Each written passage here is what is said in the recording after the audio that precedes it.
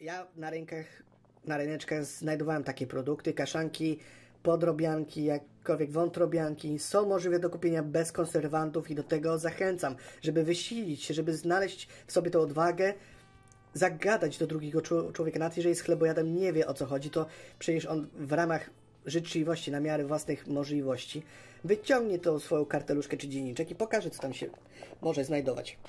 W ramach już coraz lepszego zjadania, gdy już wiemy, że nasz mózg o wiele lepiej działa, gdy już potrafimy analitycznie rozumować, potrafimy sięgnąć łepetyną do tego, żeby zjadać salcesony czarne chociażby, żeby w końcu samemu je wytwarzać, bo można po prostu wytworzyć w ilości hurtowej na kilka miesięcy, poświęcając to powiedzmy 10 godzin jednego dnia. No i cześć, i voilà, voilà po prostu.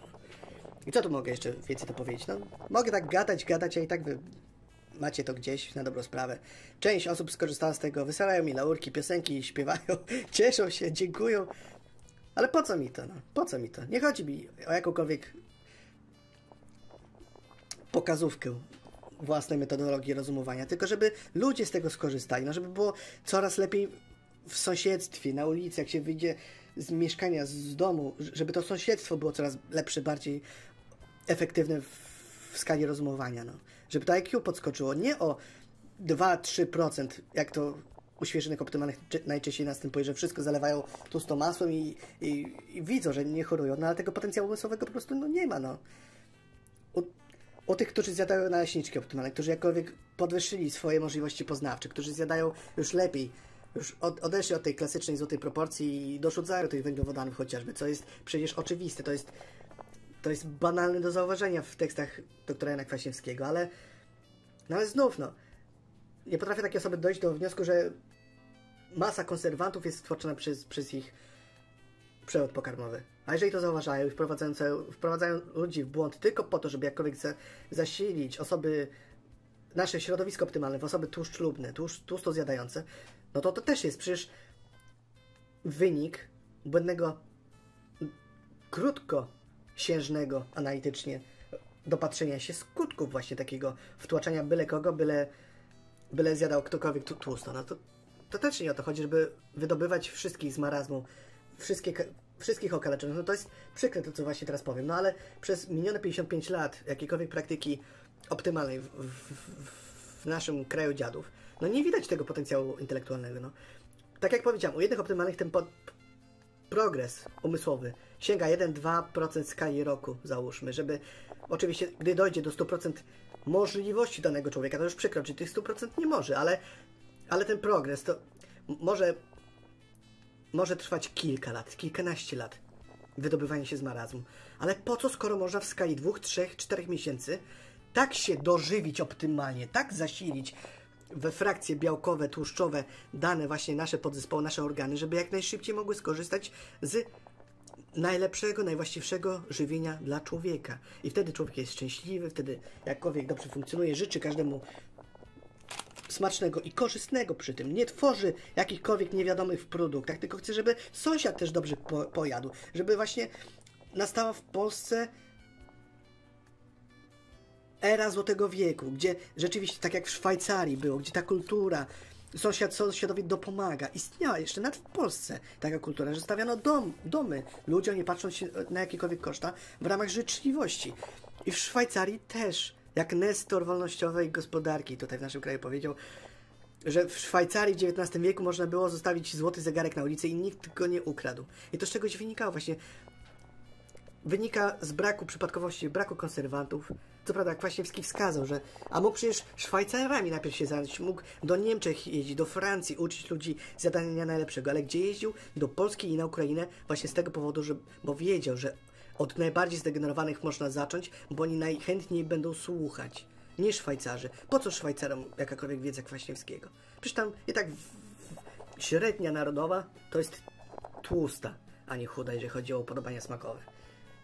No i dlatego trzeba było zacząć od Ukrainy, bo tu też będą pojawiać się pewne niesnaski zupełnie niepotrzebne i dlatego trzeba dotrzeć do naszych sąsiadów, żeby poszerzyć ich możliwości poznawcze, możliwości umysłowe nie o 2-3% w skali roku, nie o 10, 15, 20%, tylko od razu doprowadzić do zreperowania mózgu w jak najkrótszym, jak najefektywniejszym czasie, w jak najmniejszych kosztach. A ile kosztują podroby? No, no praktycznie nic, no.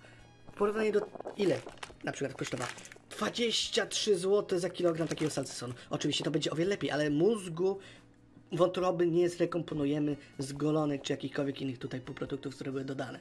Z ozorków na przykład.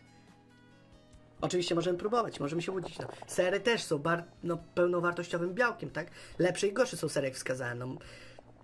Ale znowu, to nie jest przez nas wytworzone. Nie, nie wiem, co tam tak naprawdę się zadziało, żeby ten produkt wytworzyć. Śmietanki, miletto, też nie wiemy. Dlatego musimy działać na miarę naszych możliwości, najlepiej jak się tylko da, być najbardziej efektywnym i zmierzać finalnie do wykreowania w sobie być może nawet potencjału na geniusz. Jeżeli jesteśmy do tego dystrybuowani, jeżeli jakkolwiek mamy zakusy, mamy możliwości uwarunkowania genetyczne, bo po okresie ciążowym, po okresie dziecięcym, młodzieńczym, po pełnym rozbudowaniu, czy mamy jeszcze możliwość uzyskać geniusz? Jeżeli mamy, tego uzyskamy, tylko trzeba wiedzieć, czym należy, na, należy ten umysł zasilać, żeby skorzystać, żeby wygenerować właśnie najwyż, najwłaściwszą percepcję na miarę naszych możliwości. Zadając naleśniczki optymalne, no niestety, widzę słabo ten progres, ten rozmyślonek dalekosiężny. Ja dla przykładu nie wprowadzam do środowiska tu ślubnych byle kogo, szukam śladów rozumu, szukam najwyższej wartości biologicznej danego człowieka, nawet jeżeli to miałby być chlebojad. Widzę, że jego tok rozumowania jest na tyle zasadny, że można mu wskazać ambrozję optymalną. Natomiast wersję 40% mogę spokojnie, bez żadnego problemu wskazać tym, którzy jakkolwiek będą chcieli zaryzykować, będą chcieli słuchać i spróbować we własnym mirze domowym skomponować takie właśnie żywienie, jak wskazuję. Nie każdy do tego dojdzie, przykro mi bardzo, ale, ale to jest praktyczność rozwiązania przyrody. Mądrość to jest umiejętność gry na logice przyrody, czyli dostosowanie tego, co posiadamy w materii, do tego, co możemy tutaj na talerz chociażby włożyć. No to też jest mądrość. I wczoraj mi się nasunęła pewna konkretna myśl. Nie każdy do tego dojdzie.